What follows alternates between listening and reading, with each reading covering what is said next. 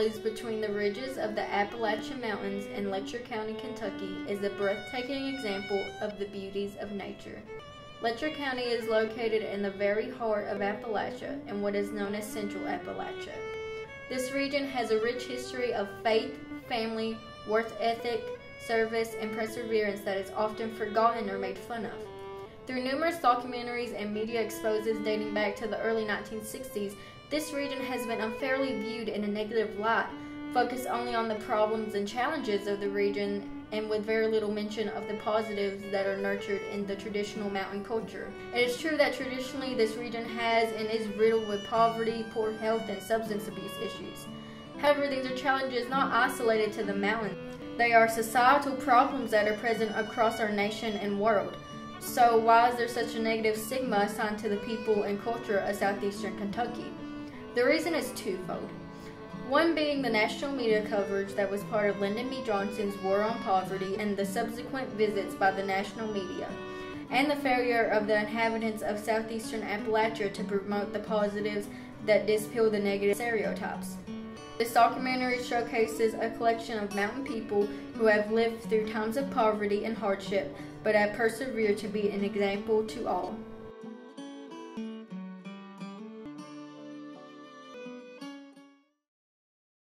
We, uh, we raise just about everything that we eat. Uh, life was fun. I, I had a had a great childhood. Wouldn't trade with anybody that that I know of. Uh, we worked a lot uh, in the garden, uh, milked cow, uh, uh, made preparation for food. We raised most everything we ate. Positive memories. I don't have many negative memories because we didn't seem to dwell on problems, but we dwelt on success of figuring out a way to do things, to make it work. And families were close. And uh, it's not like today where you have so many kids that grow up in a one-parent home and so forth. So I grew up in the Depression and before the World War II. And uh, the thing that impressed me most as I look back was there was a, a quality of peace about your life. You were not bothered by the outside world. You had no way to communicate with them or they to you at that point. And uh, world problems were be like going to the moon, you know. Uh, and I've seen a lot of change. I've seen a lot of positive things in my life. And, and later on life, we got a, we got up in the chips a little bit and bought an old car of some kind, my dad did. But, uh, we, uh, we had, we shared the car together. But, uh, Wasn't very many people had a car, and I'm not uh, sticking our chest out one bit at all. It just was able to run, you know. We didn't know. We didn't look at it that way.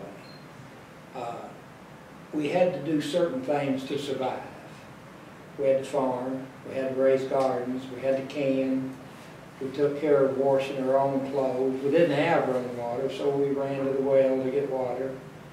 We didn't have electricity uh, for a while.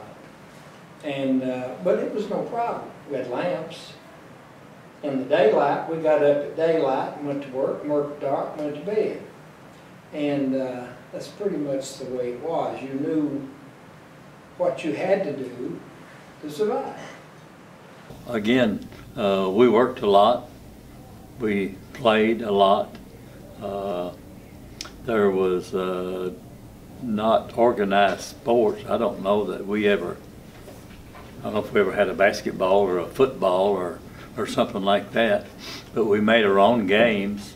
Uh, we uh, visited in the neighborhood a lot. Uh, I guess television has kind of taken that very positive thing away, I think. Uh, we knew our neighbors, we ate with our neighbors, we uh, uh, interacted, helped each other out. Sometimes if they had a lot of work to do, that we would go help them work. when we had a lot of work, they might come and help us work. Uh, there was a, I guess the word is camaraderie that uh, uh, was unique and, and I think very good for society. Uh, I cherish those memories. Uh, people visited one another back then, a lot more than what they do now, and, uh, were a lot different back in them days than what they are right now. We never, uh, we never did have running water. We didn't have inside bathrooms or anything of that sort. We had to work in order to survive. We, more or less, we, uh, raised what we eat and eat what we raised. after you eat breakfast, she said, don't come back till you hear the uh, lunch bell ring. And we had to entertain ourselves. And we were really good at that. Uh, playing in the creek, playing in the branch, uh, catching crawdads, you know, for future use. Uh, just all kinds of uh, different wonderful games that we, uh, some of them created.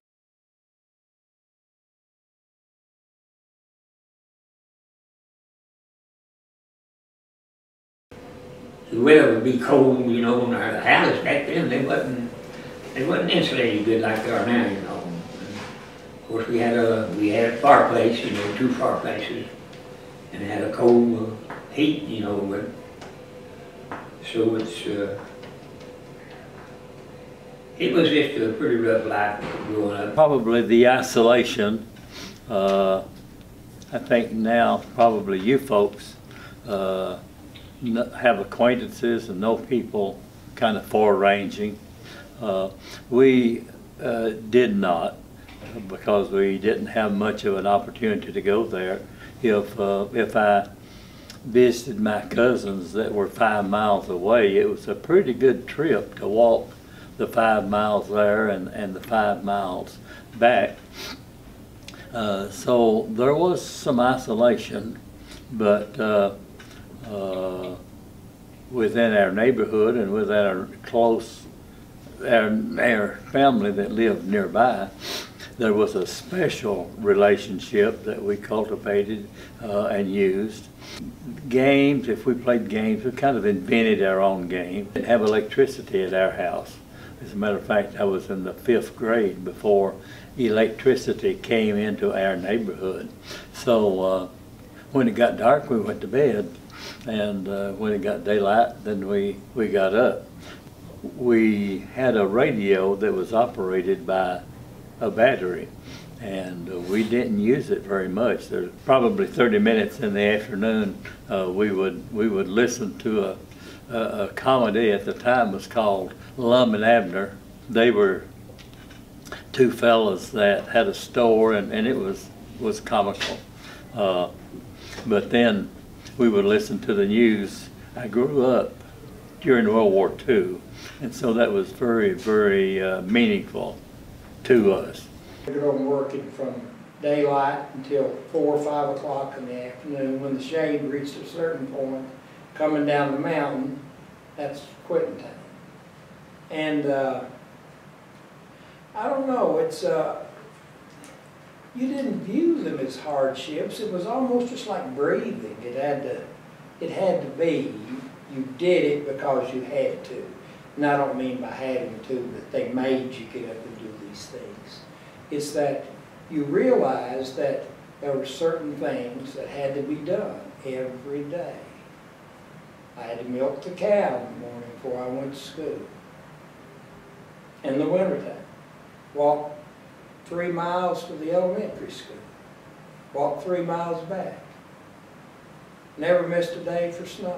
Yes, we scraped by. Uh, my father had died. I uh, was killed when I was just turned six years old. It was uh, Rick Vandetta.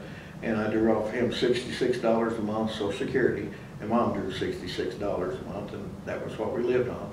And fifty dollars of my check went to that old place I currently still live at today, up ahead of Perkins Bridge. We bought the old uh, farm up there, and uh, my uncle gave it to me for six hundred dollars, fifty dollars a month till paid, and uh, I had to sometimes go out and ask neighbor to work. And uh, There were times that I'm not proud of that uh, uh, I would take without asking. And uh, like going to a cornfield, getting a couple of ears of corn and stuff. Uh, I did apologize to George years later, but, uh, you know, at the time I was hungry. And that's no excuse for taking something that don't belong to you. But, uh, yeah, uh, my stepdad worked some, but uh, he had such a uh, alcohol problem that uh, there's no money. And, uh, you know, it, it was a day-by-day struggle. But uh, uh, Mom always told me, said, uh, we're not uh, poor, we just don't have any money. And that, for some reason, that stuck in my mind, you know, to keep that pride, because she would not take anything uh, unless she earned it.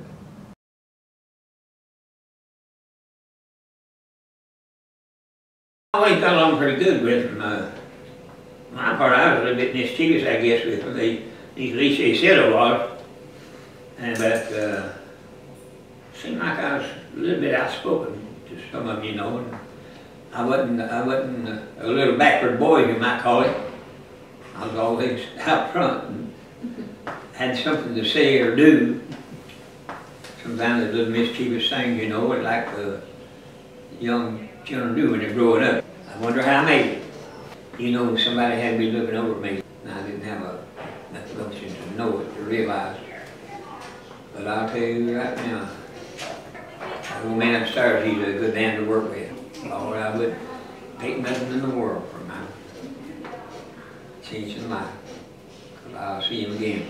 Well, really, the value system is greatly instilled in you with your parents, but I learned early on that uh, you were quiet in church. My mother was quite religious. Uh, my dad wasn't. And I've always had an appreciation for the Bible and the, structure that it gives our lives. Uh, if you live by the Ten Commandments, you, you're living a pretty good life. I don't care who you are, where you are, or whatever. And, uh, but she, she was quite religious, and of course we went to the old regular Baptist churches. And back then, when you went on Saturday, you went for the day. You know, they'd start at nine and go to four, and uh, and to pay no overtime. I think there's, there's things that are different. We worked hard and we respected those that worked hard and, and actually didn't respect those that didn't work hard. But certainly we were taught to be honest, to tell the truth, uh, and mostly to help our neighbors. We had a neighbor uh, in trouble, uh, we would go and help them out. Uh, I remember that if, if, that there were some neighbors uh, on their deathbed. Um, my dad used to go and sit up with them even at night uh, and maybe let some of the family rest. Uh, of course, there were not hospitals then like there are now. Uh, but uh, those are some special values I think would do us pretty good today. Parents were, were deacons in, in a local church uh, and, and they were in the old regular Baptist church.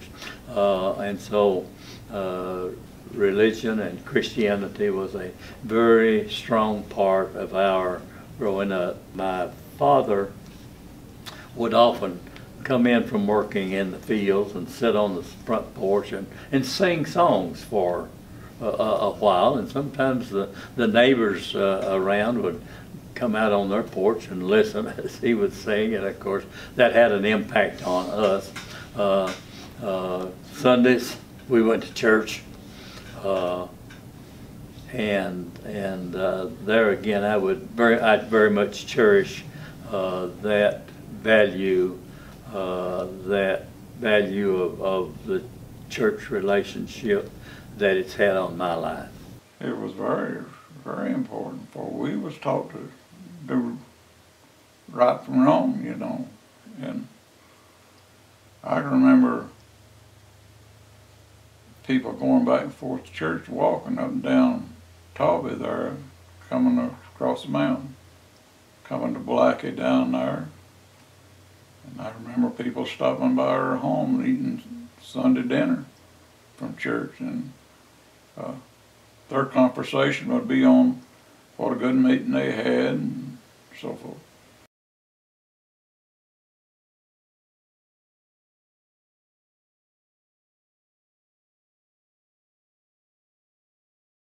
Didn't have an education that a lot of the boys had there, but I had some good common sense. Well, the thing, I think the advantage of, of, of my elementary education compared to what we do today is that uh, we had a two-room school. Uh, half of the school was first, second, third, and fourth, maybe just third. And the rest of the school was fourth, fifth, sixth, seventh, and eighth. And you were in a class with eighth graders and seventh graders, or whatever level you were at, you had these other classes in there, and the teacher would teach these different classes at different times, and you were always listening. You know, you could hear the, you could hear the eighth grade math lesson and watch them do their problems on the board, and you could practice your writing skills at the same time. So, there, there was something that was very desirable and if you were in the fifth grade, you could also be in the eighth grade. All you had to do was listen and pay attention. It helped you tremendously. We didn't have any electricity. We did have a, a chalkboard and some chalk, but that was about the extent of it. We had uh, uh, textbooks by and large, uh, and basically what we had was a textbook and a desk and a big pot-bellied stove, and, and uh, uh, there was no lunch program at, when I was in school. Uh, but still yet we learned a lot. There were no electronics, uh, and therefore I'm pretty much lost. So I'm impressed with what you guys know and do and, and can do with, with all of that. Uh, we had some good teachers and some poor teachers. Uh, we probably memorized a whole lot more then than people do uh, now. They had paddling back in them days, and they didn't hesitate about using it either. I mean, if you got out of line. And uh, everybody, all the students, rode the buses. They didn't have any cars or anything to drive back and forth to school. And one thing, well, didn't have the roads either.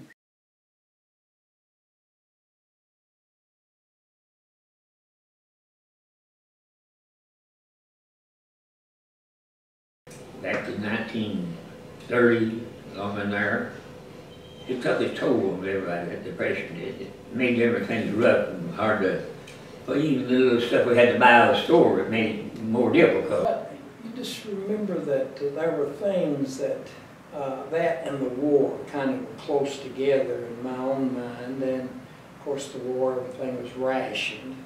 You know, you could only get just a little bit of sugar a month. You couldn't get this, you couldn't get that because they used it in the, uh, in the war effort. But I just remember during the Depression, there was, there was characters that were homeless. And there were no programs to serve the homeless at that time. So people in the community would take them in for a week or two. And they'd come in and live. And, uh, and if you had a little bit of work you could get out of them, get them to do, then uh, that's the thing I remember mostly about the Depression because we still raised the same garden, canned the same foods, and ate like we always did. We raised hogs, had milk cows, and uh, I could I could see really no difference. The Great Depression was a uh, very serious time. It probably didn't impact uh, our family as much as it did many others. For uh, people who lived in cities and had no place to uh, to grow their food and so forth, uh, I'm sure many people starved. Uh, before the Depression, basically, we raised most of what we would eat. Uh, from, from the vegetables and we preserved them. And we, uh, uh, had cattle and, and, and, and, and milk and, and, and, uh, hogs and we slaughtered them and had, uh, all the meat that we would need.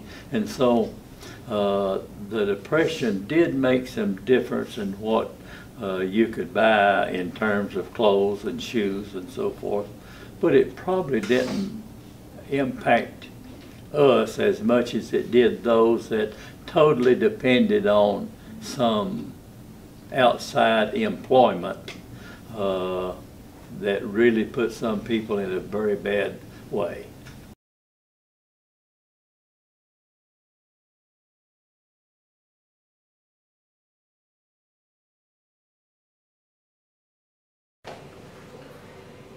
I told him I was leaving, would join the army. I believe, uh, about nineteen forty, I guess. I I know I was thirty away for nineteen forty.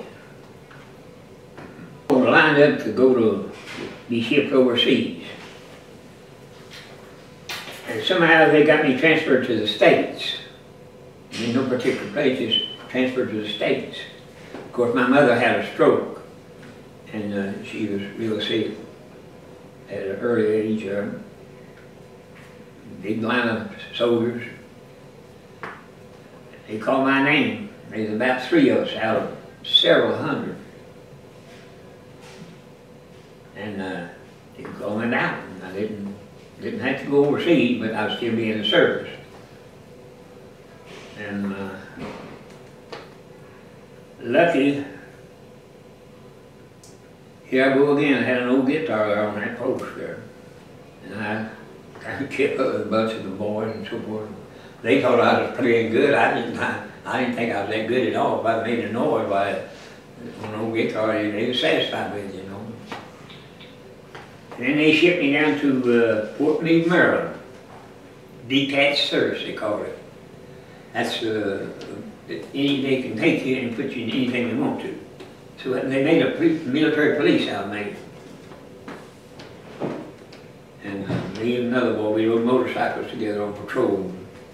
That's when this, this war broke out there, was building barracks there in Fort Meade, Maryland, extended and made a big, bigger place out of it. I remember, then I went into the tank outfit, the 70th Armored Division. I was gonna bring a picture of that tank and forgot it. So I guess I'm getting ahead of myself here. But my military life was, it was something else. Seemed like I'd done pretty good at that, anything I was put at, you know, I'd done my job good. But I'd always mischievous and done things I shouldn't have done, you know. But as far as the service is concerned, I'd done it just the way it's supposed to be done. I could figure out about anything I wanted to figure out. And with them educated fellows, they had it all on paper, but you pick it off of paper, they, they, they, didn't have it. A lot of things, they talk about these wars and so forth. But I went up to uh, Iceland. I spent 21 months up in Iceland. Isolated place. Cold. You can see the midnight sun. Just like a ball of fire. Uh, we, we took uh, 20 light tanks, 20 uh, P-38 fighter planes, and a bunch of ground troops. Took us all on board the ship. We spent, uh, we spent 21 months up on Iceland. There wasn't a whole lot to do there. We, we just go to school, over and over and over in our training. We had a had strip of machine guns down and explain what it was. Like a, well, one my tank had a, well, they all had the same amount of horsepower in them, but uh, like a Ram machine gun, Caliber 30 model 1919 A4 HB, air cooled belt fed recoil operated. We had to get it word by word. They, some of them fellas, they couldn't remember that. Couldn't, couldn't figure that out. like a job come there. Reykjavik was the capital of Iceland, and Hafnarfjord was a is where the bomber field was at, and we was guarding. He needed a driver to, to oh, hold water in the night from Field to Reykjavik. And had to put a water tank behind a truck. Well, the three, four of us went out there, I had a little problem and, and that's why they couldn't figure out how to do it. They couldn't see that tank, and he couldn't, couldn't figure out how to drive by looking through the mirrors on each side, you see. I went to the dumper somewhere, they got me two big brooms that wore out. Put on each corner of that water tank. It stuck up there, and I could see it. So I got the job. Once again, I outsmarted some of them. They had a good education, but they didn't, they just didn't have the common sense to get their way through this. I do a lot of airplanes. Fighter planes, that was my big thing back then. I can remember that so well. And, uh,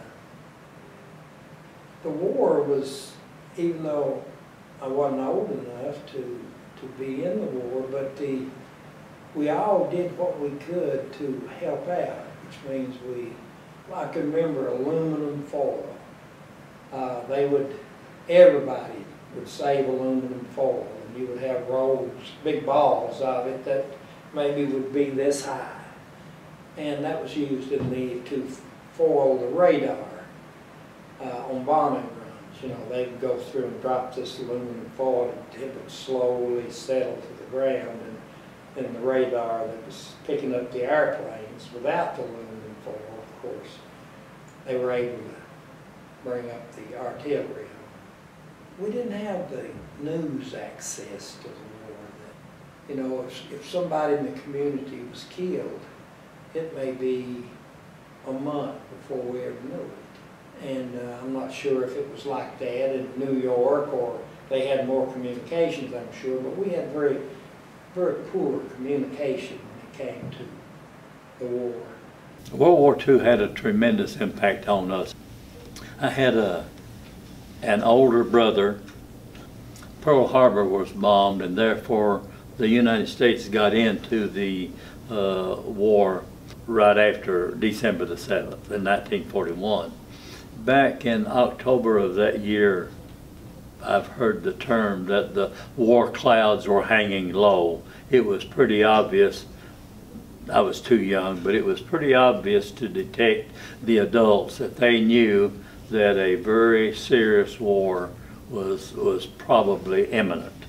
My older brother in October was drafted, and and he of course left for the army.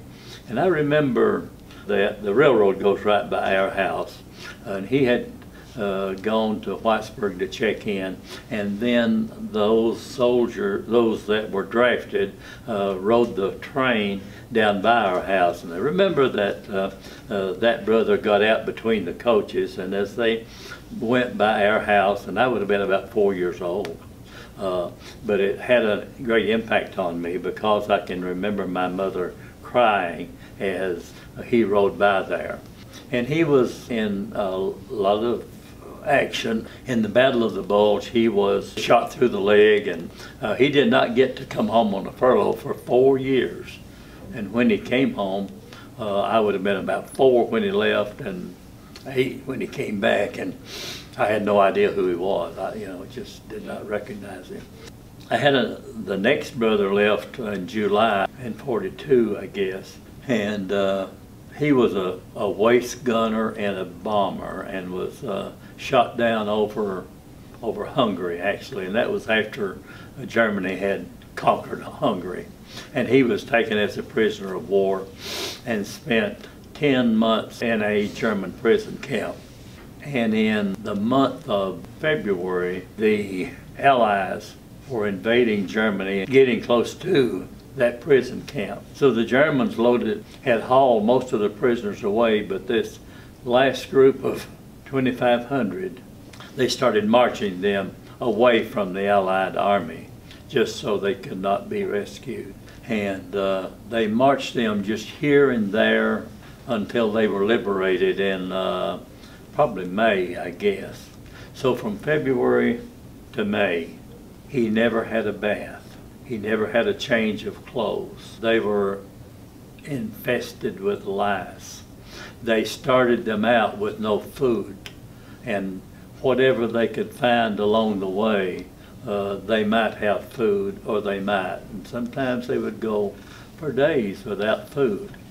He was uh, probably six two or more, and when he got uh, liberated, he weighed 90 pounds. And uh, it had an effect on him the rest of his life, I think. Had another brother that was in, uh, that was drafted, and he was assigned kind of an office job in England. But you see, uh, Germany began, had taken over France, and they were trying to take England, and, and they just started bombing the place. So day after day after day, they bombed England. That they all three got back, but had a great impact. My uncles, one of them had pretty well destroyed him, World War II. Uh, uh, Some of the stories that I have of him, uh, uh, he was drill sergeant for a man by the name of Audie Murphy, according to family legend tradition. Uh, He was wounded. Uh, Uncle Arlie, he was wounded severely in Korea and had an impact because these were warriors. I call them the fly, fighting Blairs. Uncle Arnold, few years after his death, his uh, widow received a letter from Germany. They had found his dog tags and wondered that he, she want them back. And he, she'd been in such intense fighting and stuff. But the, the war, I guess that made me more patriotic because we, from Revolutionary War all the way up to current day, we've had someone willing to sacrifice, willing to give their all for this thing called America freedoms. And to me, uh, I'm, I'm very proud of every one of them for serving and uh, my mother for willing to go up and, you know, it, it wasn't just about the men. And uh, thank goodness the military's were uh, awakened to the idea that women can do just a good job, if not better, uh, than men in the service of our country.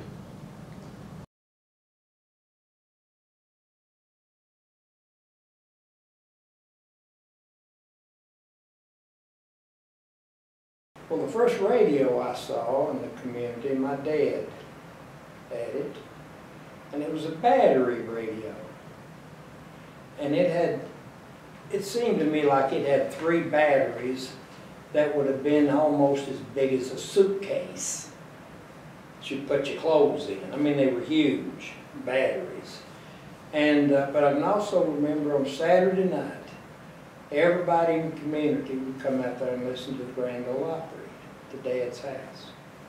And uh, it was it was something to to hear. Renfro Valley was big in those days, and people couldn't believe that uh, we could hear Renfro Valley all the way from London, Kentucky. It's just out of our reach, our grasp. Just didn't quite take it in.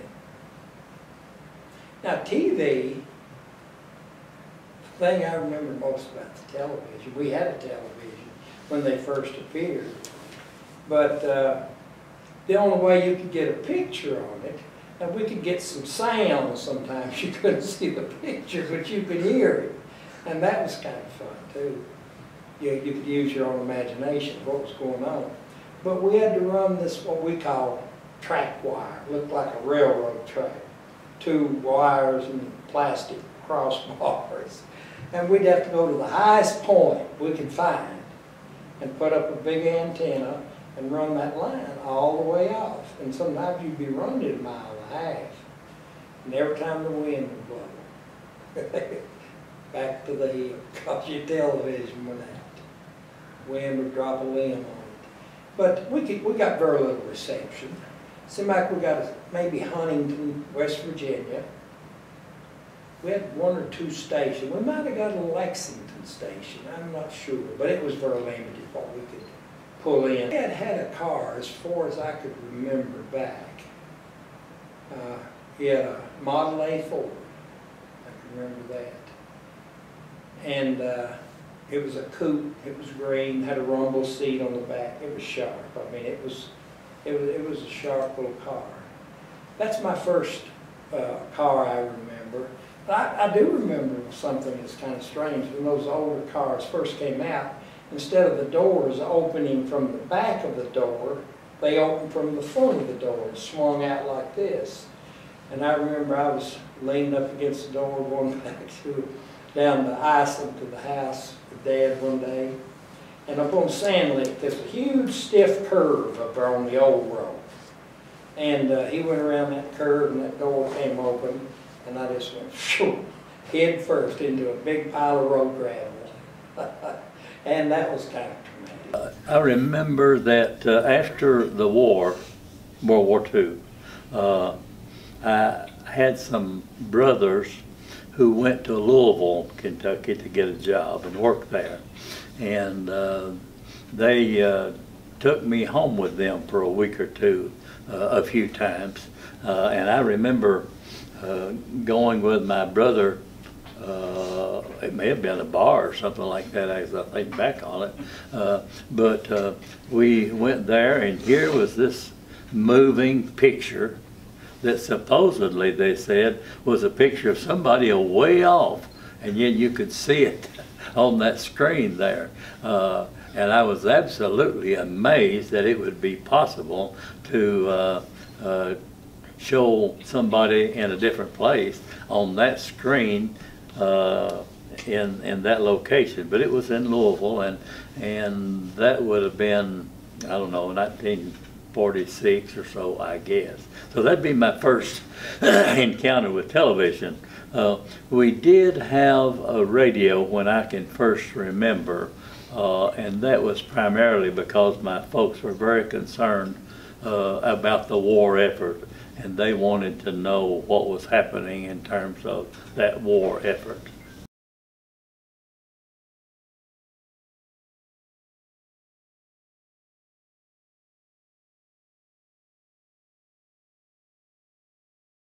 Well, it made us, it made us dependent on the government.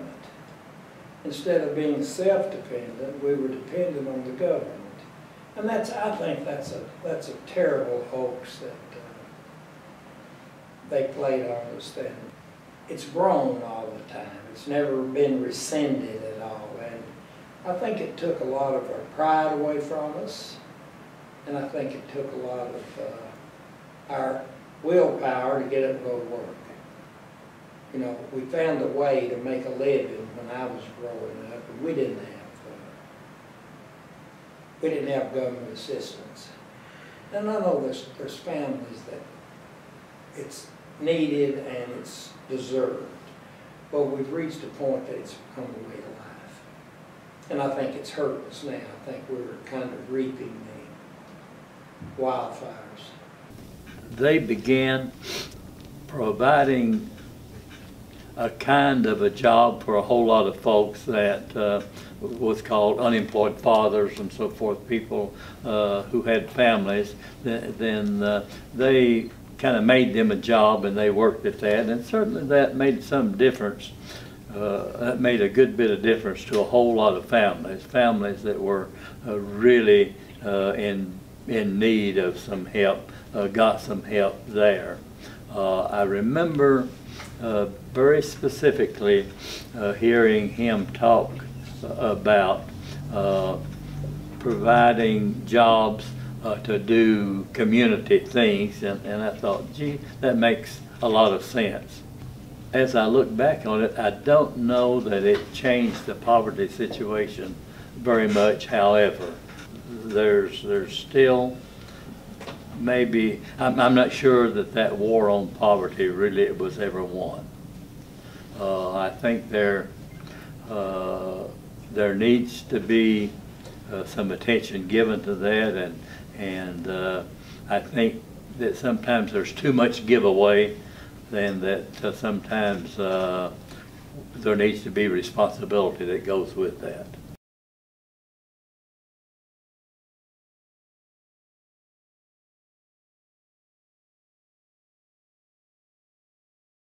Information I would keep for now, the information age, I like that. But for my childhood, I'd keep the peace and contentment, the happiness and the work ethic, and the religious aspect, even though it, uh, I've strayed from time to time. Uh, I'm, a- I'm a Baptist, and, uh, but I would keep, I would keep some of those things, particularly the honesty. We never had a lock on our doors. We never locked a door in my life growing up. If we were gone for three weeks, no, we, you didn't lock anything. And nothing was ever bothered. I would keep the intercommunications that we experienced in my early lifetime with neighbors and kinfolks and so forth. But that limits uh, the broadness of our horizons too, I think probably. Now I have some uh, friends in uh, Canada and, and uh, Washington State and, and uh, uh, Oregon and, and so forth. Uh, and I cherish that also. And they're kind of opposite in a way. I think there is some some questionable activities that go on with with uh, uh, things that are, I think, alien to the teachings of of Christ that that I wish were not there. Uh, so that I guess I, I wouldn't keep.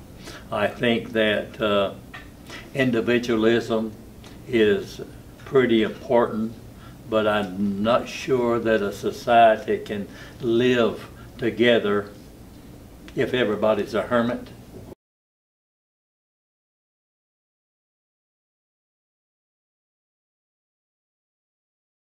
To be a little blunt, is they not, they are not nearly as smart as they think they are. For instance, there, there are some uh, characteristics among you, among us, uh, concern one for another.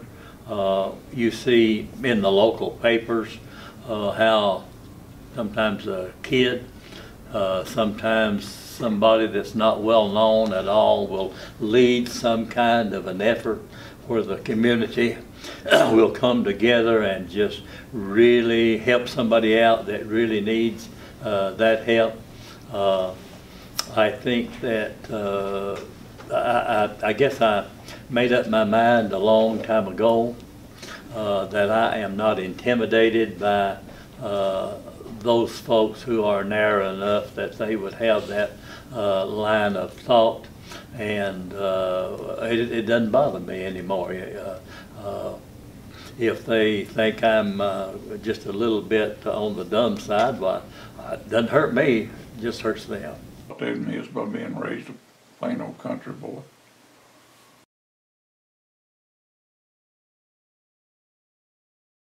I lived a fast life there. I've been through a lot, Lord have mercy. I've been through a lot, I sure have. All my life, I've, uh, I've enjoyed talking to people. I can think back a lot of things that, uh, I wonder how I made it. You know, somebody had be looking over me, and I didn't have a, enough gumption to know it, to realize. But I'll tell you right now, that old man upstairs, he's a good man to work with.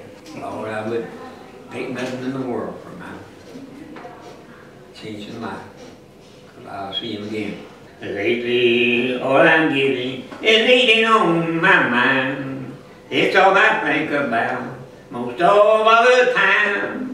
Soon and very soon, I'll leave troubles all behind. For lately, all I'm getting is eating on my mind. I guess I ought to be looking for a better place to live. I can't get excited about this whole world and all it can give. I couldn't care less if I could buy it all with a solitary dime. For lately, all I'm getting my mind.